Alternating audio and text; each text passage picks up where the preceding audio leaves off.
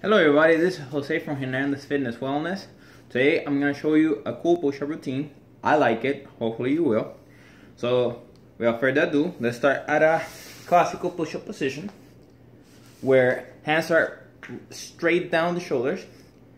Go down, up, go down, up, go down, up. From a forward uh, view, it looks like this.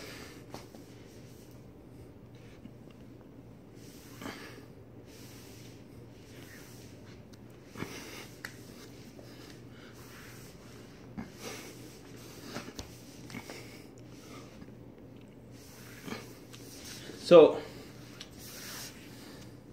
doing the push-up and sliding your feet is like a combination of a push-up and a pike. So kind of like a pike push-up using just the sliding effect. It's pretty cool and really effective for the core. I hope you like it. See you soon.